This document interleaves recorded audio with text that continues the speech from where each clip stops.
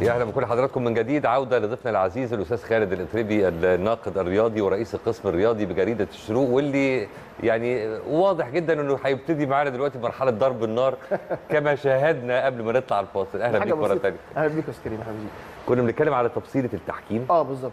آه، و- ووقفنا عند تحديدا نقطة معينة لو عايز تسترسل آه بعدين اتفضل. نتكلم على كمان نيجي بقى نمسك على السؤال بتاع بيراميدز. آه. فلو دخلنا على بيراميدز كمان شفنا المباراة اللي فاتت يعني آه، دي لو كانت ثلاجه مثلا زي ما كان مارتن يول بيقول إن لو شاط الثلاجه هتدخل. الكورة دخلت بكامل يعني الحارس شريف إكرامي خد الكورة ودخل بيها المرمى وكل حاجة تمام تمام وخرج. لا في فار اتكلم ولا في حكم حسب ولا في أي حاجة خالص ولا أي تبرير طالع يقول لك إحنا ما عندناش تقنية آه، آه، خط المرمى. هي دي محتاجة خط المرمى. يعني ده معلش يعني دي أي حد يشوفها بلاش بلاش كلمة ال- الكلمة الثانية أي حد يشوفها فين الفار مفيش فار. فهي دي الفكرة. الناس اللي تلاقيها تسأل وتقول لك إحنا عايزين تحقيق العدالة أكتر ناس تضررت من عدم تحقيق العدالة هو النادي الأهلي. عايز حد يشوف ويحسب كده النقاط اللي إحنا بنتكلم فيها. كمان بتلاقي ناس تقول لك خالد الغندور امبارح شفت هو بيتكلم بيقول إيه؟ بيقول أنا لو قاعد على الفار ولقيت حاجة للنادي الأهلي وطبعا أقسم حوالي مثلا 20 مرة إنه هيحسب للنادي الأهلي. إنما ده ظلم. طب هو ما شافش مثلا إن النادي الأهلي كان ليه هدف؟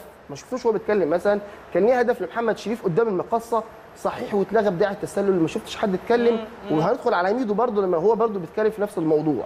ضربه جزاء لبيكهام قدام وادي دجلة مشدود من إيده وأنا كنت محتاج المو...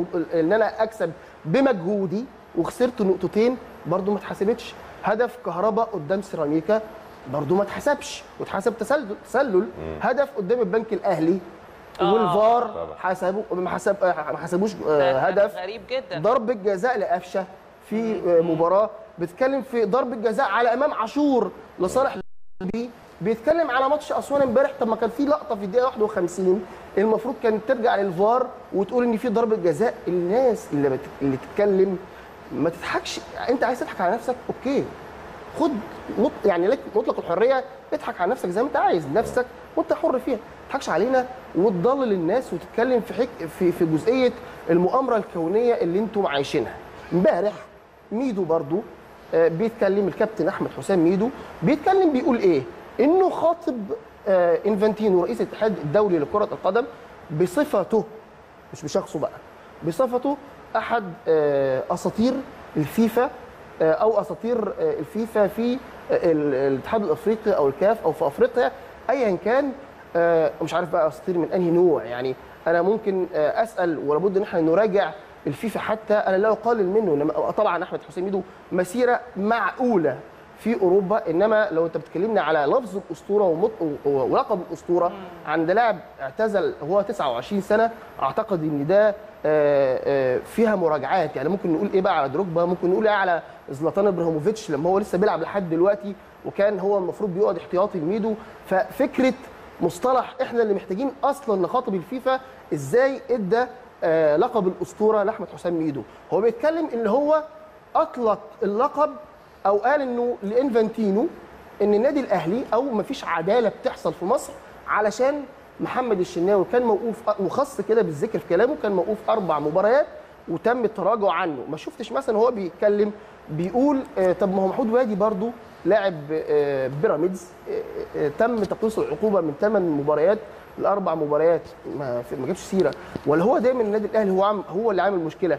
طب أنت ليه ما شفتش هو دايما برضو نفس القسم اللي أقسمه آه، آه، خالد الغندور هو قسم اللي أقسمه برضو أحمد حسام ميدو إن لو النادي الأهلي ليه حق هيتكلم. برضو ما شفتش أحمد حسام ميدو اتكلم في آه، الحقوق اللي بيتكلم عنها إلا إذا مثلا في اللقطة اللي كان بيتكلم عنها في البنك الأهلي وقال فيها إن ال- الكره مش جون وجاب حكم إنجليزي على أساس إن هو هيؤيد كلامه واذ بالموضوع يدخل في سكة تانية خالص والراجل يقول له لأ الكره مش جون فأصبح كمان إن الموضوع فيه مراجعات. أنا عايز زي ما قلت الكلام قول اللي أنت عايزه بس تكون صادق في وجهة نظرك. ما تصدرش للناس فكرة هي مش موجودة إلا في خيالك. نفس الكلام برضو اتقال من نائب رئيس الزمالك السابق أو الأسبق ايا كان وشايفه بيتكلم على الفيسبوك وعلى آه، آه، ال social media على آه، الجماهير وإن وإن اللي بيحصل هو اللي تسبب في قتل معرفش 72 كلام لابد الناس تتحاسب عليه. لأن أنت أنت مسؤول سابق أو حالي لابد إنك تكون عارف إنك بتحرك الجماهير ناحية شيء ما. إحنا كل اللي بيحصل على الساحة دلوقتي بيقود الناس اللي هي بتعلي من نبرة التعصب بين الناس. تخيل لو كل الأحداث اللي موجودة دي بالبيانات والكلام واللي بيتكلم يقول لك انت اللي قتلت وانت اللي عملت إحنا في رياضة يا جماعة. إحنا في رياضة. تخيل لو الجماهير الموجودة في المدرجات الشكل كان هيبقى عامل إزاي. سيبك بقى من كورونا أو اي حاجة. احتقار. المفروض ان كل واحد في مكانه يتحلى بالمسؤولية ويعرف ان الكلمة عنده لابد انه يتحاسب عليه يتم محاسبته عليها.